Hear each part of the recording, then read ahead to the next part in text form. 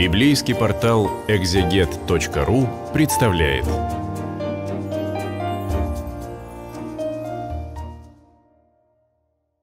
Уважаемые э, братья и сестры, э, мы э, продолжаем наши беседы по Евангелию от Иоанна.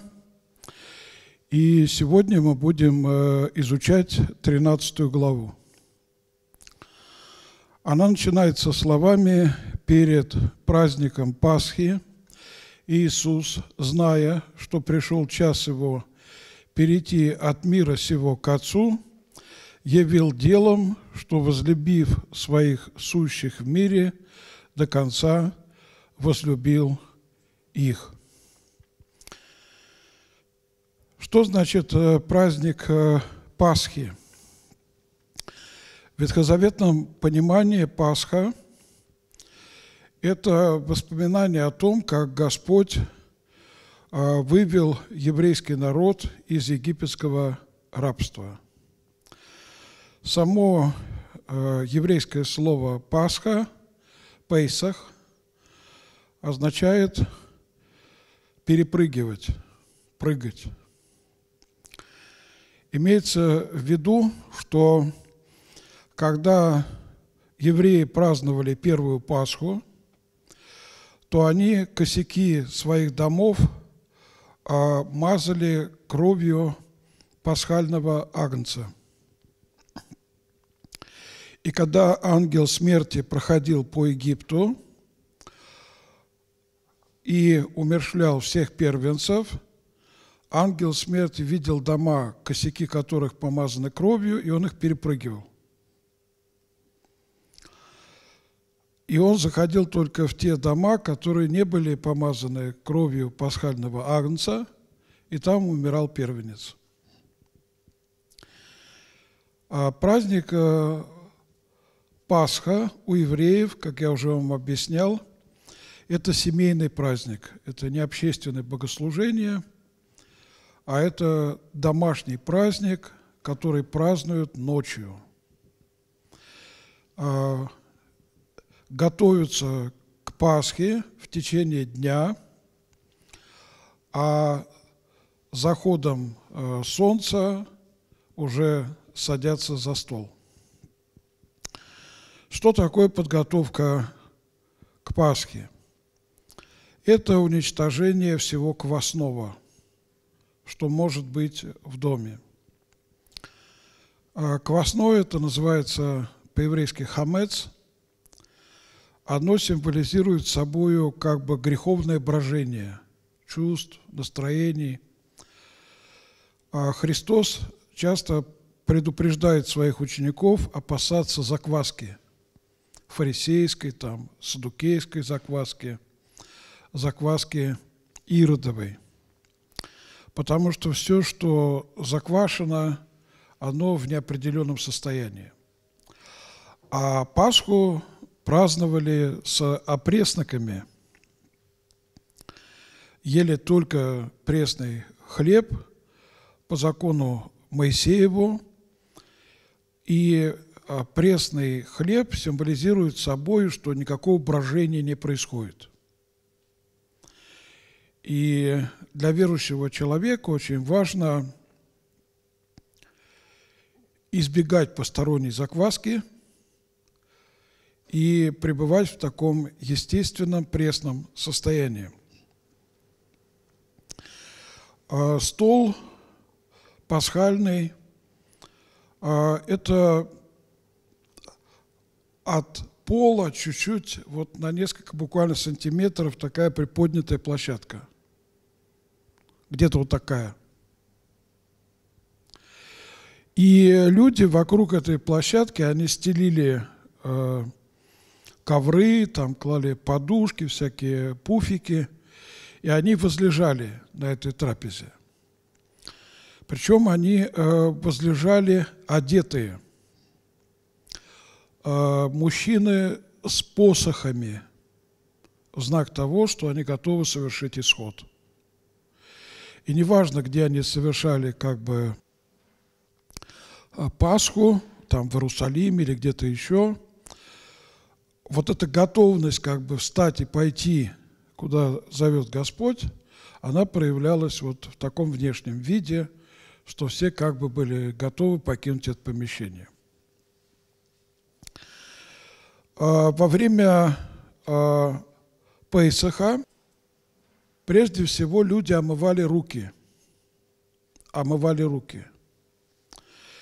А вот почему Христос потом говорит Петру, а, а, омытому нужно омыть ноги. Имеется в виду, ты омыл а, руки, но тебе надо омыть ноги. Омовение а, рук – это был такой обряд, когда бралась одна кружка а, с водою, и она лилась на одну руку, потом на другую, и весь остаток выливался на ту руку, с которой начинали омовение. И потом люди садились э, за стол, и обязательно на столе были горькие травы. В память о том, как тяжело было э, евреям, когда они были в египетском рабстве. Это чеснок, лук, перец.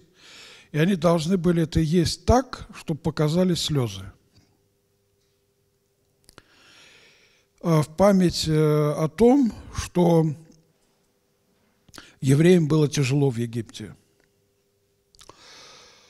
А потом э, делались всякие такие приправы а, коричневого цвета, которые напоминали ту глину, которую месили евреи, когда строили города, они изготовляли кирпичи, из этих кирпичей они строили города.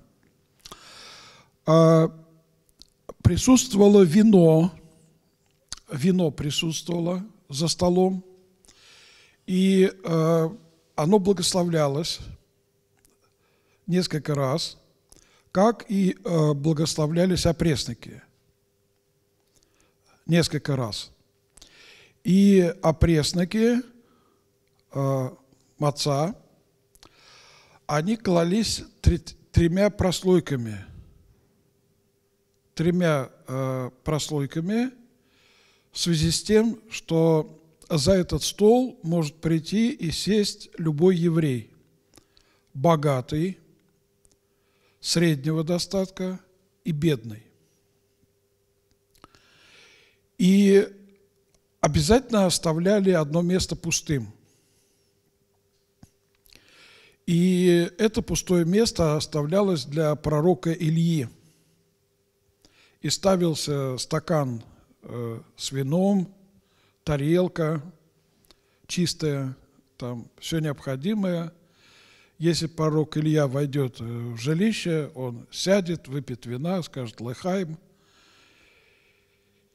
И по закону э, Пейсаха старший член семьи возглавлял этот стол.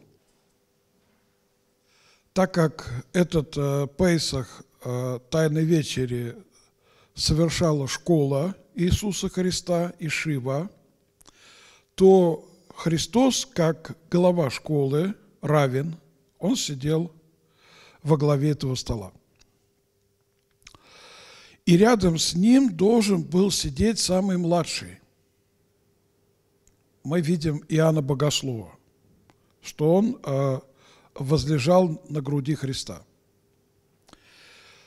Это не потому, что он был там э, каким-то особым любимчиком, а это потому, что так было положено. Самый младший сидит рядом э, со старшим, и во время обряда Пейсаха он должен задавать вопросы – что это у нас происходит сегодня.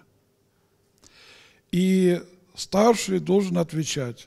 Мы вспоминаем, что вот Господь рукою крепкой, мышцей простертой вывел нас из Египта. То есть то, как это событие описывается у евангелистов, оно точно соответствует тому, как Моисей в закон предписывал праздновать э, Пасху, и тому, как евреи всегда праздновали Пасху и как они празднуют до сих пор. А до сих пор принято у евреев в пасхальную ночь дверь оставлять открытой. То есть ее не запирают. Чтобы пророк Илья, если он придет с небес, он мог бы зайти в любой дом и э, принять участие в этой трапезе. А были элементы игры для детей, когда часть э, мацы пряталась. Это могла быть одна пластинка. И какой-то момент э, дети ждали этого момента, а начинался поиск этой спрятанной мацы. И кто из детей находил, а тому все дарили сладости. Его приветствовали как победителя этого соревнования – обязательно э, жарили вот этого пасхального агнца и обязательно подавали его на косточки, чтобы это вот э, мясо запеченное, оно было на косточке. И это самый главный праздник в иудаизме, как во времена Иисуса Христа, как до Христа, до его воплощения, и как это празднуется иудеями сейчас. И мы читаем, что перед праздником Пасхи Иисус, зная, что пришел час Его, перейти от мира сего к Отцу, явил делом, что, возлюбив своих сущих в мире, до конца возлюбил их. И во время вечери, то есть праздник начинался вечером, и надо было установить, а, что действительно наступил вечер. Устанавливали как? А, дети забирались на кровлю дома, кровли были плоские, и они смотрели на небо, они ждали появления звезды. И если они видели одну звезду, им казалось, что они видят звезду, считалось, что одна звезда может померещиться. Если они видели две звезды, считалось, что две звезды тоже могут померещиться. Но если они видели три звезды, это означало, что точно наступил вечер. И так как самые младшие этим занимались, созерцанием неба, то мы можем предположить, что он Богослов э, сидел на крыше, а когда приближался этот вечер, и он сообщил, вечер наступил. Во время э, вечери, когда дьявол уже вложил в сердце Иуде Симонову Искариоту предать его, Иисус зная, что Отец э, все отдал в руки Его, и что Он от Бога и шел, и к Богу отходит, встал с вечери, сняв с себя верхнюю одежду и, взяв полотенце, припоясался. Потом влил воды в умывальницу и начал умывать ноги ученикам и отирать полотенцем, которым был припоясан. Здесь мы видим, что Христос выполняет обязанности слуги. А ноги должен был омывать слуга или раб. Если в доме был раб, он выполнял эту обязанность, а, омывал ноги. И, конечно, для учеников это была неожиданность. А перед э, Пасхой, Пейсахом они омывали руки, и они э, готовы были омыть себе ноги сами в такой ситуации, где не было слуг. И, может быть, они думали, что надо омыть ноги Иисусу. Но Христос действует как бы на опережение. Он припоясался, влил воды в умывальницу и начинает омывать ноги своим ученикам. Влил воды в умывальницу и начал умывать ноги ученикам и оттирать полотенцем, которым был припоясан. Подходит к Симону Петру, и тот говорит ему, «Господи, тебе ли умывать мои ноги?» То есть Петр как бы говорит, это я должен умывать твои ноги, тебе ли а, умывать мои ноги. Иисус сказал ему в ответ, что я делаю теперь, ты не знаешь, а уразумеешь после. Петр говорит ему, не умоешь ног моих вовек. Иисус отвечал ему, если не умою тебя, не имеешь части со мною. Симон Петр, услышав э, такие слова, говорит ему, «Господи, не только ноги мои, но и руки, и голову». Христос сказал, если не омою тебе ноги, не имеешь части со мной. Тут уже Петр ведет себя иначе. Он очень импульсивный человек – хотя он человек в возрасте, и он говорит, не только ноги мои, но и руки и голову. Иисус говорит ему, а мытому нужно только ноги умыть. Здесь э, два возможных варианта. А мытому нужно только ноги умыть. Ты омыл уже руки, тебе надо мыть только ноги, и ты сядешь за этот стол. Есть другой вариант. Ты чист, ты уже как бы омыл свой внутренний мир э, словесами Евангелия, и теперь тебе надо омыть ноги, потому что ноги – это та наша часть, которая – все время соприкасается с прахом земным. Скажем так, э, ноги – это э, самое такое э, слабое место, как есть такое понятие ахиллесова пята. И в Библии сказано, что змей будет жалить вас в пету. Это место наиболее приближено к земле, к праху, а так как э, апостолы должны будут отправиться на проповедь Евангелия, им надо мыть ноги. Как прекрасны ноги благовествующих, сказано, сказано в Писании.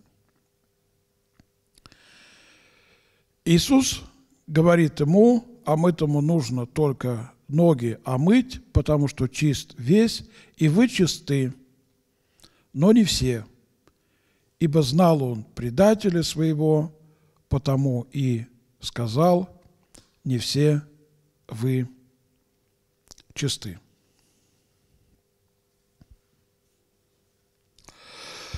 Когда же умыл им ноги и надел одежду свою, то, возлегший опять, сказал им, вот э, видите, вот эта деталь, э, одел одежду свою. Потому что человек должен сидеть за столом, припоясанный, готовый выйти и совершить исход. То есть они в полной одежде сидели. Поэтому вот эти детали, они как раз подтверждают точность того, что там происходило. Надел одежду свою, то возлегший опять сказал им, То есть они все там э, возлегали. Поэтому э, не надо вспоминать тайную вечерь э, Леонардо да Винчи, где они сидят за столом. Это такая европейская фантазия. На самом деле они все возлежали. Что значит возлежали? То есть они, значит, опирались на вот эти пуфики, которые там были, и на этих коврах вот они возлежали одетые. Вокруг этого стола все семейство, вся община. И самый младший э, садился рядом со старшим. Когда же умыл им ноги и надел одежду свою, то возлегший опять сказал им, «Знаете ли, что я сделал вам?» Вы называете меня учителем и Господом, и правильно говорите, ибо я точно то. Итак, если я, Господь и Учитель, умыл ноги вам, то и вы должны умывать ноги друг другу. Давайте посмотрим, какие есть истолкования. Ориген в своих комментариях на Евангелие от Иоанна пишет, как должного дела следует желать омовения телесных и чувственных ног братьев, совершая это в отношении верующих, достигших какой угодно степени в жизни, или епископов, и пресвитеров, которые, как кажется, достигли церковного превосходства или иных мирских чинов. Ибо потому и владыка Христос пришел, чтобы омывать ноги верующего раба и родители ноги сына. Этот обычай уже либо не встречается, либо встречается весьма редко среди простых и негородских людей. Ориген говорит здесь о том, что омовение ног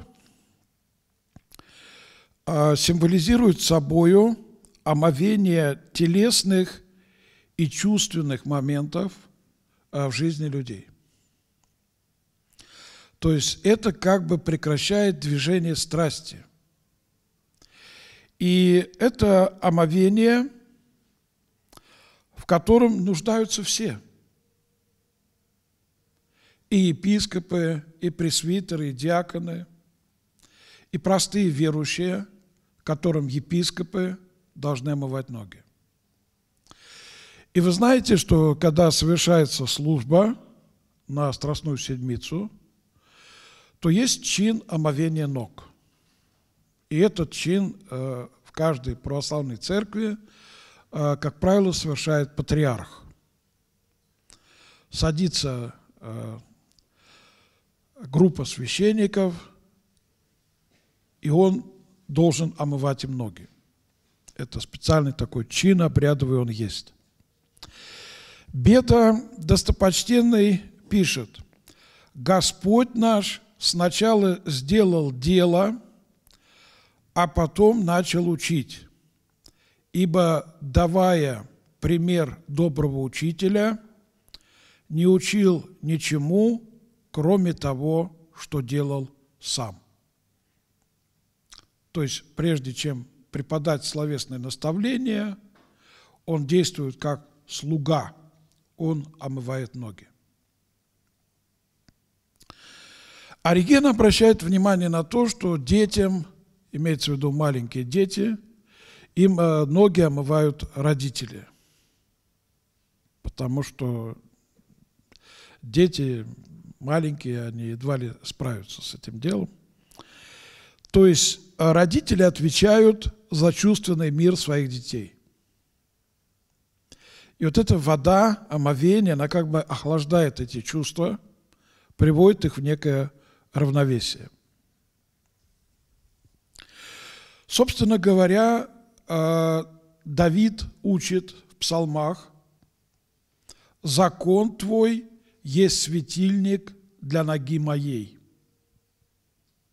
То есть э, ноги, они задают направление. И если закон – светильник для ноги, человек не идет туда, куда ходить не надо. С этого начинается псалтырь. Не ходит, не стоит, не сидит. Помните, да? Блажен муж, который не ходит на совет нечестивых, не стоит с ними на их пути заодно и не сидит в собрании развратителей. Все эти действия тоже связаны с ногами. Не ходит, не стоит, не сидит. Поэтому мы всегда должны быть э, очень разборчивыми, особенно в вопросе, а с кем мы сидим вместе. И на Тайной вечере это был серьезный вопрос, потому что там был один из них предатель. Давайте посмотрим э, интересное объяснение Амвросия Медиаланского. Он восклицает, «Хочу и я умывать ноги братьев моих». Ведь Христос сказал, и вы должны умывать ноги друг другу. И Амбросий Медиаланский восклицает, «Хочу и я умывать ноги братьев моих, хочу исполнять заповедь Господа, не хочу стыдиться, презирать то, что прежде делал Он сам. Таинство смирения – так он называет омовение ног, тем хорошо, что, смывая чужую грязь, я смываю и собственную. Что это значит? Когда человек э, смывает чужую грязь, то есть помогает человеку очиститься, э, например, он пытается обелить человека – который был очернен там лживыми словами. Или это реальная грязь, которая имела в жизни человека, нравственная и моральная. Надо помочь человеку от этого избавиться. И когда мы это делаем, мы смываем свою собственную грязь. А у каждого что-то такое есть. Мы же ходим по земле, мы же не летаем, как ангелы – и мы все время касаемся этого праха. Таинство смирения тем хорошо, что смывая чужую грязь, я смываю и собственную. Но не все оказались способны пить из этого таинства. Действительно, хотя хотел умыть ноги и Авраам – однако из чувства гостеприимства. Также и Гедеон хотел умыть ноги ангелу Господню, представшему перед ним, но собирался сделать это как услужение, не как деяние равного. Это великое таинство, которое никто не разумеет до конца. На самом деле Христос преподал урок любви. Он сам говорит, я пришел не для того, чтобы мне служили, но чтобы я послужил другим. И э, блаженный Августин в своем трактате на Евангелие от Иоанна пишет, Такое делают в буквальном смысле братья, когда принимают гостей. Конечно же, лучше, чтобы это делалось руками, и чтобы христианин не пренебрегал тем, что делал Христос. Ибо когда тело склоняется у ног брата, то чувство смирения возникает в самом сердце. Или, если оно там уже есть, оно утверждается. А кроме нравственного урока, разве не можем сказать, что брат способен изменить брата, очистив от грязи греха? Давайте исповедоваться друг другу в грехах, давайте молиться о наших грехах, так мы станем умывать ноги друг другу. То есть этот обряд, он имеет как бы фактическое выражение, такой обычай действительно существовал. И мы знаем, что Авраам омывал ноги гостям и другие э, праведные люди, но он имеет и символическое значение не бояться помогать другим людям избавиться от нравственной грязи. Потому что каждый из нас а, тоже чем-то запятнан. Мы не летаем, мы ходим по земле. И а мытому надо омыть ноги. То есть мы призываемся к тому, чтобы этот прах отрести – то есть быть отрешенными от э, грехов и преступлений. И надо сказать, что некоторые общины Востока до сих пор они это практикуют, христианские общины Востока. И когда в гости к христианину приходит христианин, ему омывают ноги. Хозяин э, семейства христианского просто ставит таз и омывает ноги. И патриарх Авраам тому является примером. И он оказывает такое гостеприимство всем, кто приходил, сподобился явления ангелов, которые пришли к нему, и он тоже предложил им это омовение.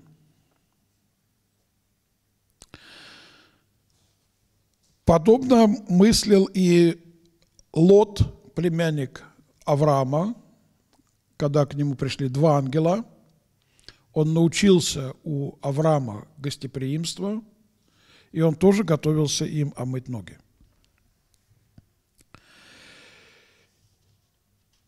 Итак, если я Господь и Учитель, омыл ноги вам, то и вы должны умывать ноги друг другу. Ибо я дал вам пример. То есть это больше пример – чтобы и вы делали то же, что я сделал вам. Истинно, истинно говорю вам, раб не больше господина своего, и посланник не больше пославшего его. Если это знаете, блажены вы, когда исполняете. То есть, э, действительно,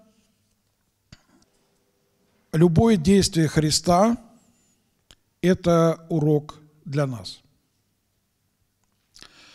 А в православной традиции не требуется, например, в русской традиции, там омывать ноги. Но проявлять смирение перед ближним необходимо. Ведь когда омывают ноги, на что обращают внимание отцы, склоняются перед тем, кому омывают ноги. Чаще это делалось так, человек становился на колени, а, и а, в таком положении, преклоненном, он омывал ноги другому человеку. Он отирал их полотенцем, и он мог целовать эти ноги. И когда чин омовения ног, мы э, видим, э, как это э, происходит, особенно в Иерусалиме это делается очень э, торжественно, э, на открытом пространстве перед храмом э, гроба Господня. далее Христос говорит, не о всех вас говорю. То есть он понимает, что не все способны так проявлять любовь. Не о всех вас говорю.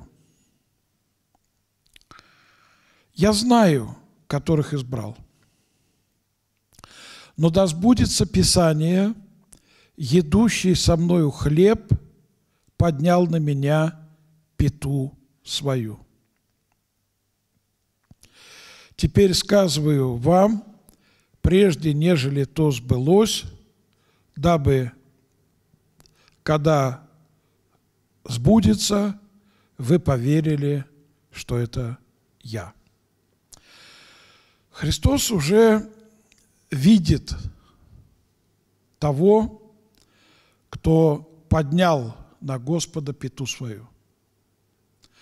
Но пету поднимают тогда, когда омывают ноги, и человек, чтобы более удобно было тому, кто омывает ноги, он приподнимает одну ногу, другую.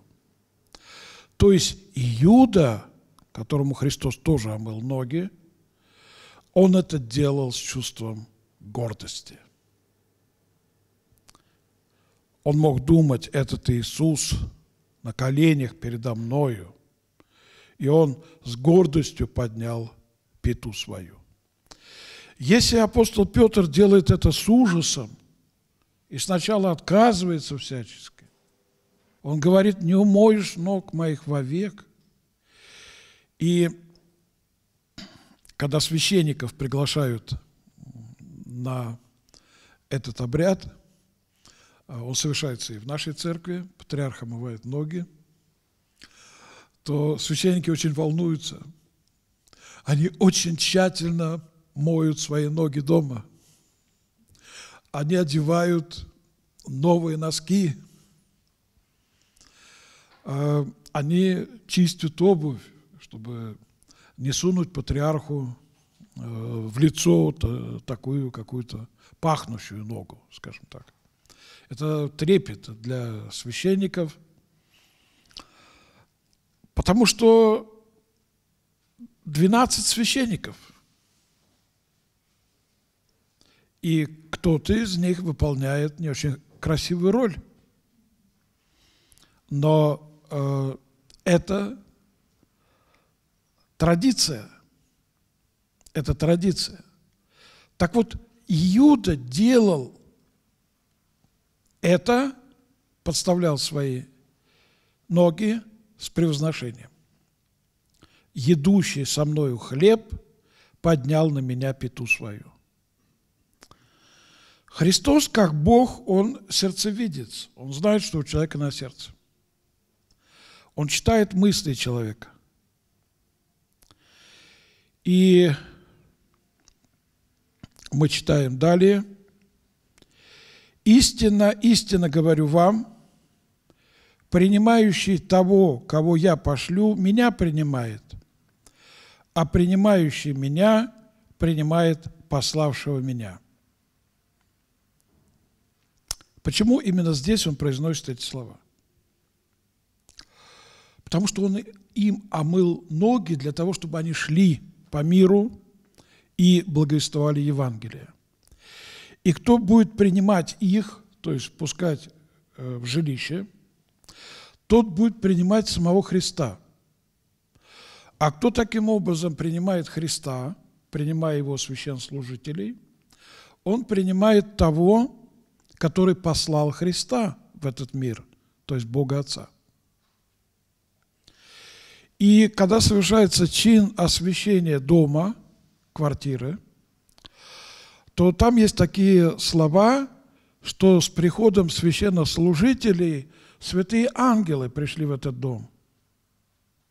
Потому что действительно, когда мы принимаем э, священников в свое жилище, то это и присутствие Христа, когда мы принимаем, не просто вот сажаем за стол и кормим, а когда мы соглашаемся с тем словом евангельским, который приносят нам священнослужители. Мы согласа соглашаемся не со священником, мы с самим Христом соглашаемся. Или спорим с Ним, самим Богом Отцом, который послал Сына Своего в этот мир. Как и сказано, «Ибо так возлюбил Бог мир, что отдал Сына Своего, единородного, дабы всякий верующий в Него не погиб, но имел жизнь вечную». Сказав это, Иисус возмутился духом и засвидетельствовал и сказал, «Истинно, истинно говорю вам, что один из вас предаст меня». Христос возмутился духом. На самом деле это означает, э, что он воскорбел. Он воскорбел о том э, состоянии, э, в котором вот оказался Иуда. Это трагедия этого человека – Давайте посмотрим, что пишут э, отцы. Например, в каноне на Великий Четверг Косьма Маюмский, составивший э, канон, пишет. «Зло именитый Искариот, вольно забыв законную дружбу, ногам – которые умыл, уготовал предательство. И твой, едя хлеб, тело божественное, поднялся хищной птицей на тебя, о Христос, и не догадался возопить, Господа, пойте дела и превозносите во вся веки. Бессовестный принимал способ освобождения от греха, тела и божественную кровь, наливаемую за мир, но не стыдился, пив то, что продал по цене, о злобе не вознегодовал и возопить не догадался. Господа, пойте дела и превозносите во вся веки. То есть Иуда мог воспользоваться всеми теми благами, э, которые мы имеем во Христе.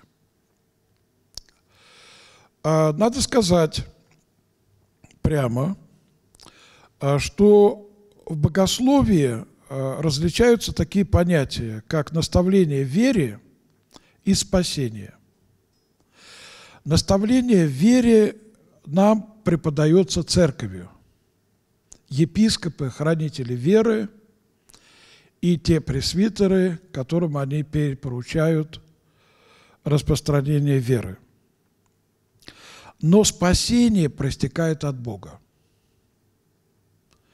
То есть э, мы священники, да, мы совершители таинств, но таинства совершаются Духом Святым.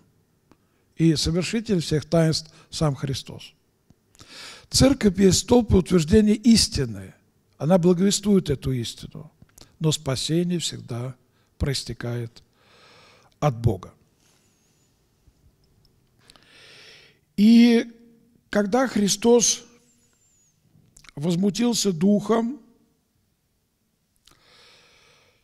Иоанн Златоуст пишет в своих гамилиях на Евангелие от Иоанна, помыслив что предатель лишился и того, и другого, и ничем этим не воспользуется, он опять возмутился духом.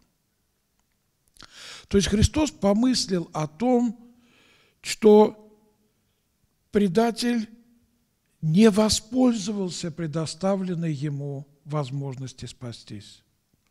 Да, ему омыли ноги, да, он причастился – но в него вошел дьявол.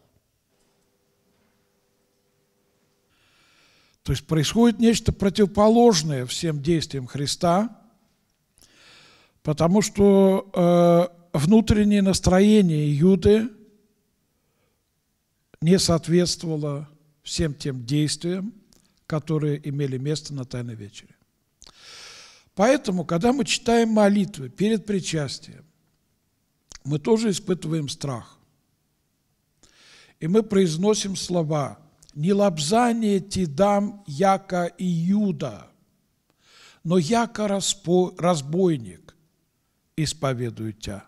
Помяни меня, Господи, егда приидешь во Царствие Твое». Итак, Христос говорит, истинно говорю вам, что один из вас предаст меня. Тогда ученики озирались друг на друга, недоумевая, о ком он говорит. Надо сказать э, прямо, э, что это э, сказано в осуждении апостолов. Они озирались друг на друга.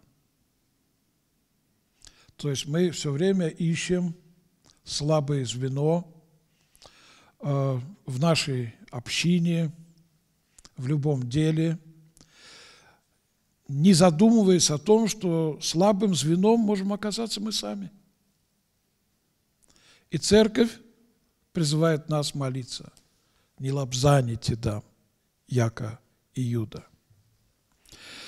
То есть вместо того, чтобы им э, озираться друг на друга и недоумевать, каждый должен был посмотреть на себя. Один же из учеников его, которого любил Иисус, возлежал у груди Иисуса.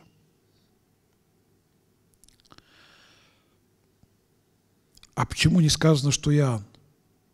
А потому что это Евангелие пишет Иоанн.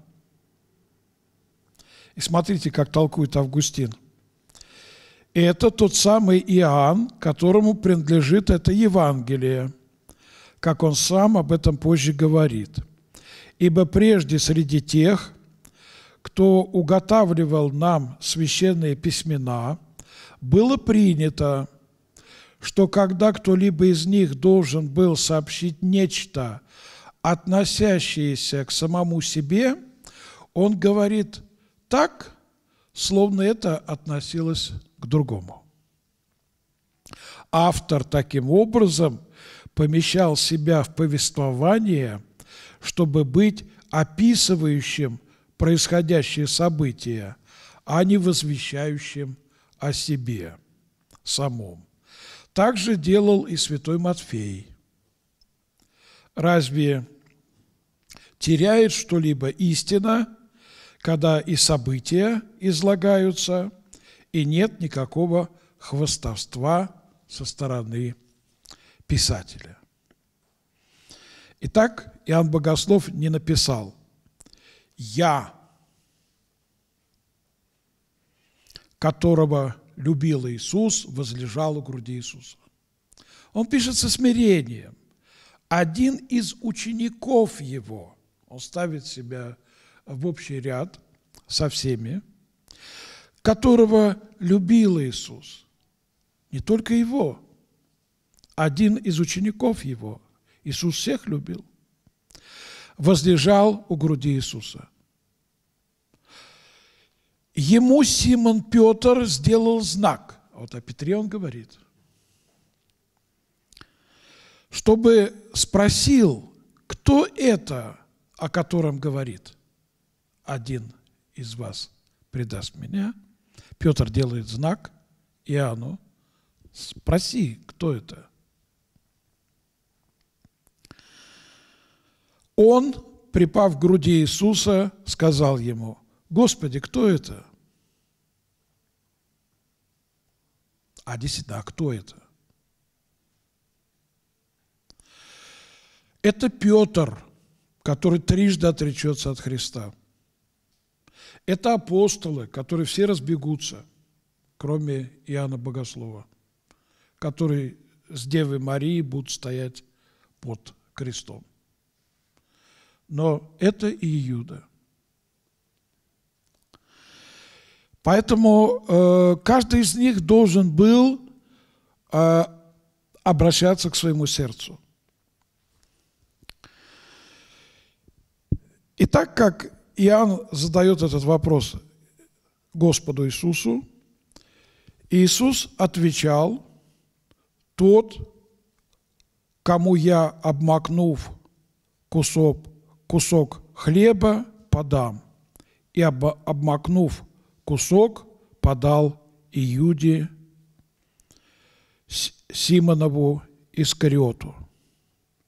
И после сего куска вошел в него сатана. Тогда Иисус сказал ему, что делаешь, делай скорее. Но никто из возлежащих не понял, к чему он это сказал ему. А как у Иуды был ящик, то некоторые думали, что Иисус говорит ему, купи, э, что нам нужно к празднику, или чтобы дал что-нибудь нищим, он, приняв кусок, тот час вышел, а была ночь. А мы и так знаем, что была ночь. Это ночное событие. Значит, вот эта ночь была где? В душе Иуды. Тьма и мрак.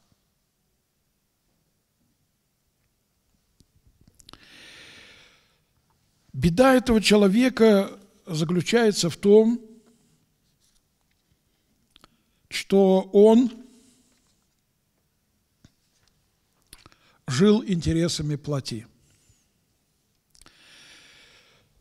Святитель Иоанн Златоуст, толкуя слова «после сего куска вошел в него сатана», пишет «Итак, пусть никто не будет коварен, не преисполнится злобы, не держит яда в душе, чтобы не стать причастным осуждения. Ибо и тогда, после принятия того подношения, в Иуду вселился дьявол, презрев не тело владычнее, но презирая за бесстыдством Иуды, вселился в него, чтобы ты узнал, что в недостойно причащающихся божественных тайн, ибо именно в них постоянно вселяется и входит дьявол, как тогда в Иуду. Ибо эти дары приносят пользу достойным, а приемлющих их вопреки достоинству подвергаются великому наказанию. Как же так? Тело Христова примите, источника бессмертного вкусите. Златоуст настаивает на том, что тот, кто приступает к этому таинству недостойно, в него вселяется дьявол. Как это понять? Кто недостойно причащается? А если человек причащается с мыслью, что он хочет избавиться от грехов, от греховной склонности, то Господь дает ему в причастие силы попалить грехи, склонность к грехам. Поэтому, собственно говоря, наличие греховных склонностей – это не препятствие для причастия. Это причина, почему надо спешить причащаться. Потому что, как нас причащают? В оставлении грехов и в жизнь вечную. Причастие – это и есть вечная жизнь. И если причастившийся сохранял бы это состояние и не терял бы этой благодати, то достаточно было бы одного причастия.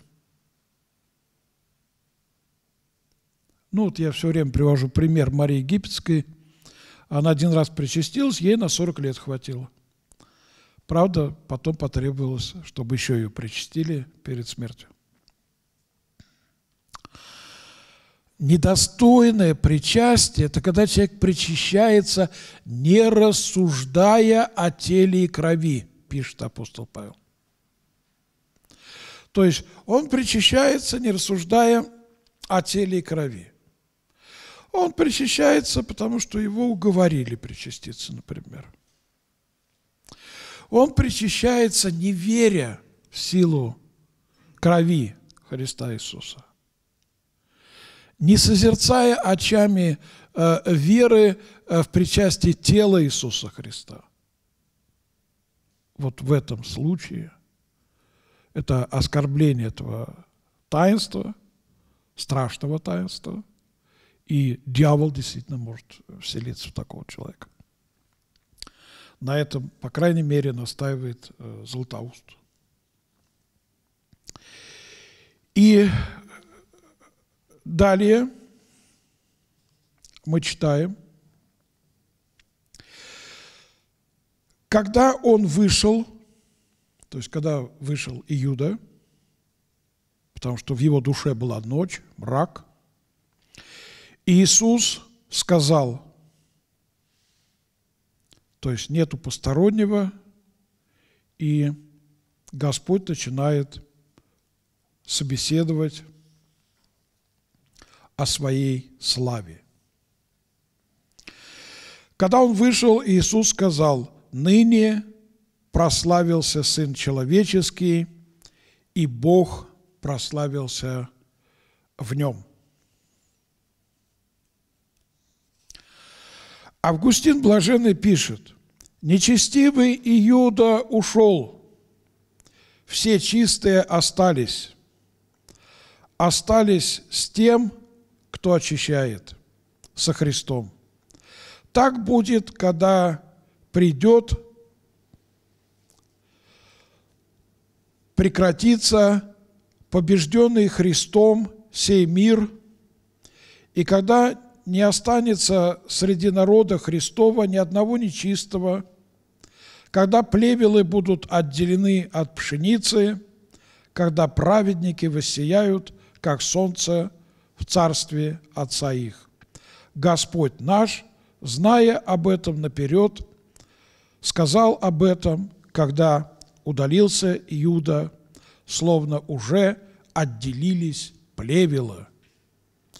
И он, Христос, остался один с пшеницею, святыми апостолами.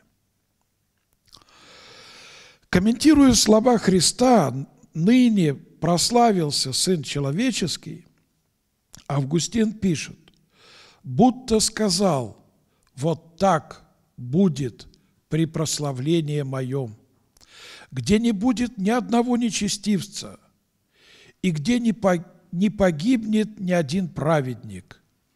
И не сказано ныне дан знак прославления Сына Человеческого, но ныне прославился Сын Человеческий, подобно, как не сказано, камень обозначал Христа, но камень же был Христос.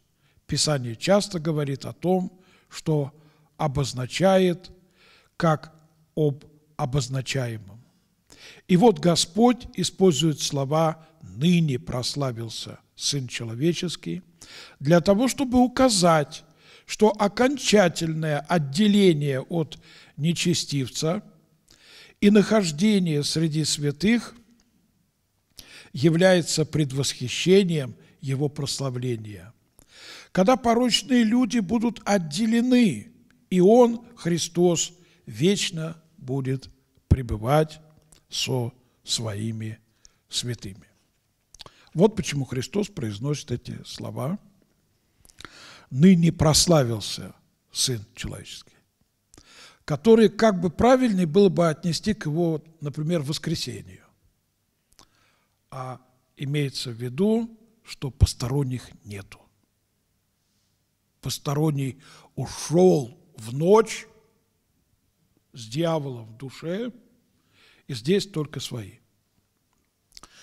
Вы знаете, вот мы, христиане православные, которые вот с советских времен ходим в храм, мы очень тоскуем о советских временах.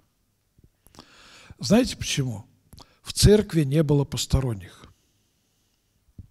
В церковь ходили только верующие, которые подвергались преследованиям э, за то, что они ходят в церковь. В церкви э, трудно было увидеть э, молодежь, но те, которые настоящие верующие, молодые, они ходили. В церкви трудно было увидеть детей, но верующих детей приводили. Не было посторонних. А сейчас для некоторых людей показаться в храме, там, на празднике, сфотографироваться, засняться на камеру. А, посторонние как бы хлынули в храмы, когда это стало престижно и с точки зрения светской власти. Так вот, слава Христа – это его народ. Почему? Потому что святость, я вам объясняю неоднократно, по-еврейски, э, кадеш, кадушим означает отделенность. Святой на языке Библии – это отделенный от всего несвятого, посвященный, выделенный. И далее Христос говорит, если Бог прославился в нем, давайте прочитаем э, вместе 31-32. Когда он вышел, то есть Иуда, Иисус сказал, «Ныне прославился Сын Человеческий, и Бог прославился в нем. Если Бог прославился в нем, то и Бог прославит его в себе и вскоре прославит его. Вот это о воскресении. Потому что э, в Писании говорится, что Бог воскресил Христа Иисуса. Но в то же время в Писании говорится, что Христос сам воскрес. И очевидно, это происходило действием Духа Святаго. То есть Бог Отец воскрешает Сына, Сын восстает из гроба силой постасного божества, собственного божества, благодати Духа Святаго. Таким образом, воскресение – это как бы дело всей Троицы. Если Бог прославился в нем, то и Бог прославит его в себе и вскоре прославит его. Дети, недолго уже быть мне с вами.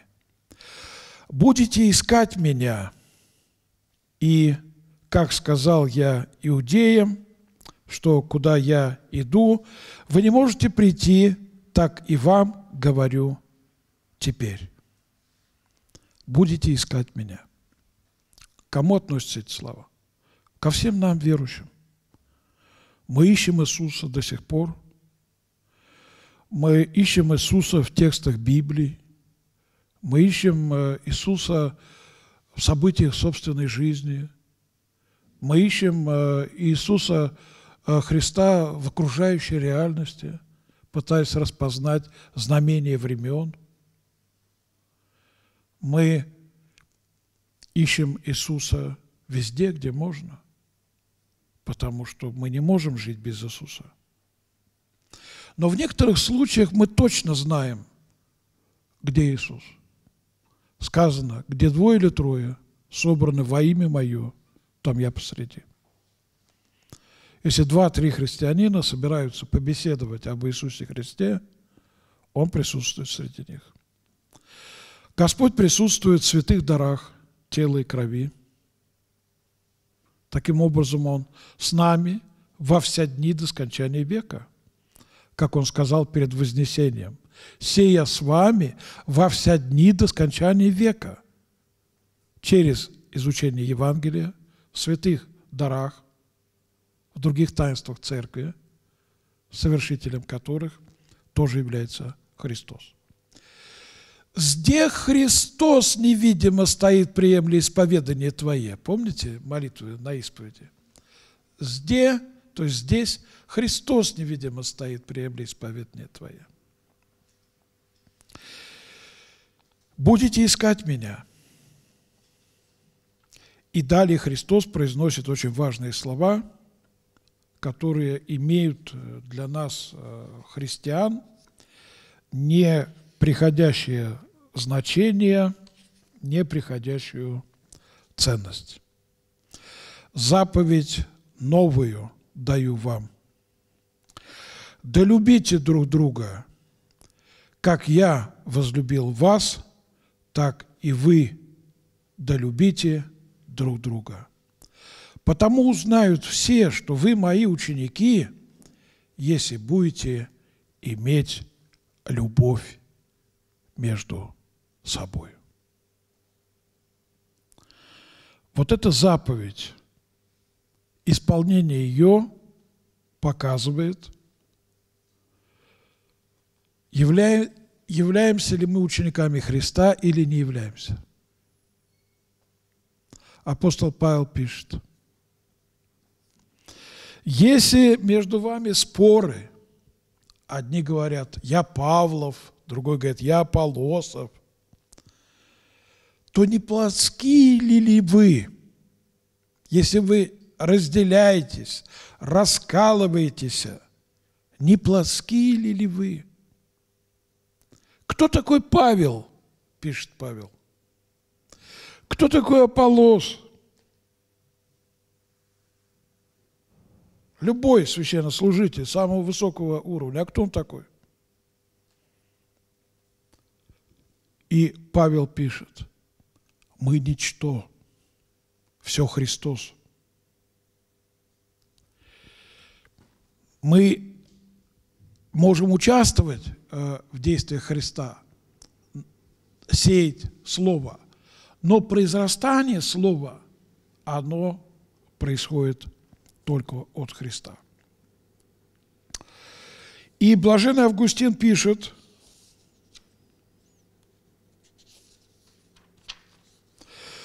Но разве не было это уже заповедано в древнем законе Бога, где записано в книге Левит «Люби ближнего твоего, как самого себя». Так почему Господом названо новым то, что, как выясняется, является столь древним – не потому ли, что это новая заповедь, что Господь, сложив с нас ветхого человека, облачил в нового? Когда Господь э, сложил с нас ветхого человека и облачил в нового, в крещении, в таинстве крещения. В воде с нас совлекается ветхий человек, и мы облекаемся в нового, во Христа крестившиеся, во Христа облеклись. Августин продолжает, ведь обновляет слушающего, а вернее послушающегося, не всякая любовь, но та, о которой Господь, чтобы отличить ее от любви плотской, добавил, как я возлюбил вас. Вот этого нет в Ветхом Завете. Как я возлюбил вас, так вы любите друг друга. Тогда люди не были способны к такому. Там было сказано, любите друг друга. А здесь, как я возлюбил вас. Они это слышат и хранят не так, как любят друг друга нечестивцы, не так, как любят друг друга люди, подобно тому, потому что они люди и есть. Нет, они должны любить друг друга как чада Божье, как дети Всевышнего, как родные братья Его, единственного Сына Христа. Им должно любить друг друга той взаимной любовью, которой Он, Христос, возлюбил их, намереваясь отвести их к тому пределу, где им всего будет достаточно, где насытиться благами их желания. То есть таковых ожидает рай сладости. Итак, мы выясняем, что новизна этой заповеди заключается вот в этих словах. «Как я возлюбил вас». Так и вы, да, любите друг друга, потому узнают все, что вы мои ученики, если будете иметь любовь между собою. А давайте вспомним, что любовь – это страсть. Любовь – это страсть. Как э, злость – это страсть. Как ревность – это страсть. Но здесь говорится о другой любви, о божественной любви. Вот человеческая любовь – это всегда страсть. А божественная любовь, сказано, совокупность совершенств. Любовь есть совокупность совершенств. Вот такое определение дается божественной любви. Это другая любовь. И вот та любовь, которой Господь возлюбил нас, бесстрастная любовь, мы должны возлюбить так друг друга. И потому узнают все, говорит Христос, что вы мои ученики, если будете иметь любовь между собою. А если разделения, разлады, скандалы, расколы, это дурной признак. Симон Петр сказал ему, Господи, куда ты идешь? Иисус отвечал ему, куда я иду, ты не можешь теперь за мною идти, а после пойдешь за мною. Христос сказал ученикам, что приближается его час, и Петр хочет э, понять, э, куда собрался идти Христос. А куда идет Христос? Он идет на Голгофу. Он идет на Голгофу, начиная с рождения в Вифлееме. И когда Петр однажды отговаривал его, да не будет с тобой такого, когда он говорит, что он будет распят, Христос решительно говорит Петру, отойди от меня, сатана. Отойди от меня, сатана. Симон Петр сказал ему, Господи, куда ты идешь? Иисус отвечал ему, куда я, я иду, ты не можешь теперь за мной идти, а после пойдешь за мною. И Петр пошел за ним на свою Голгофу. Когда в дни императора Нерона Петра приговорили к казни на кресте в Риме. И Петр сказал, что он недостоин быть распятым, как был распят его учитель. И это показалось забавно римским солдатам, и они распяли апостола Петра вниз головой. Петр сказал ему, Господи, почему я не могу идти за Тобою теперь? Я душу мою положу за тебя. Он хочет умереть вместе с Иисусом. Но Петр, этот рыбак галилейский, он еще должен забросить сети евангельского благовествования и уловить Римскую империю в эти сети. Как Златоуст пишет, кто вышел на проповедь? Рыбаки закинули сеть евангельского благовествования, и через некоторое время вся империя уловлена была в эту сеть. Пройдет всего несколько столетий, и в IV веке римские императоры преклонятся перед знаком креста. Прежде всего император Константин, которому будет явлен знак креста как символ победы с надписью «Сим победишь». Иисус отвечал ему, душу твою за меня положишь, то есть взойдешь на свою Голгофу. Истина, истина, говорю тебе. А далее, положишь душу твою за меня, но не теперь. Истинно, истинно говорю тебе, не пропоет петух, как отречешься от меня трижды. Да, как бы говорит Христос. Ты положишь за меня душу, но не теперь. Не теперь. А прежде чем пропоет петух, вот в эту ночь ты трижды отречешься от меня. Петр говорил, все отрекутся, я не отрекусь. Но в Евангелиях сказано, и другие говорили так же. То есть не только Петр. Они проявили самомнение. А когда Христа взяли, все разбежались. И Петр действительно отрекся от своего божественного учителя. Блаженный Августин пишет, свое страстное желание Петр знал – но не знал, каковы его силы. Хвалиться силой своей, будучи слабым. А врачеватель, то есть Христос, узрел его нездоровье. Петр еще плотской человек. Он еще не принял Духа Святаго. Пятидесятница впереди, когда он облечется в силу Божию и будет открыто проповедовать. Августин продолжает, не сделаешь ли для меня то, что я еще не сделал для тебя? Душу твою положишь за меня, сможешь идти впереди, ты, кто не может идти следом теперь. Почему ты столь самонадеян? Что возомнил о себе? За кого себя принимаешь? Послушай же, кто ты есть, Истинно, истинно говорю тебе, не пропоет петух, как отречешься от меня.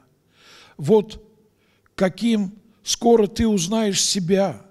Ты говоришь «великая» и не знаешь, как ты мал. Ты обещаешь мне свою смерть, но трижды отречешься от жизни, то есть от меня. Христос есть жизнь. Ты, полагающий, будто способен умереть за меня – научись прежде жить за себя, ибо, боясь смерти плоти, ты отдаешь смерти твою душу. Как исповедание Христа – жизнь, так отречение от Него – смерть. Да, признала свой грех немощь Петра, всецело признала – слезами она, немощь Петра, показала, сколько зла он соделал, отрекшись от Христа. Нам же, когда об этом говорим, нет радости в том, чтобы обвинять первого из апостолов, но, глядя на него, мы должны учиться не полагаться на человеческие силы. в силу Божию апостолы обрекутся в день Святой Пятидесятницы. И мы перед лицом самых страшных гонений, которые впереди, ибо пророк Даниил пишет о последних временах, настанет время тяжкое, какого не было с тех пор, как существуют люди. Мы не должны проявлять самоуверенности. Мы не должны надеяться на свои силы. Мы кто-то и что-то во Христе и со Христом, и мы никто и ничто вне Христа.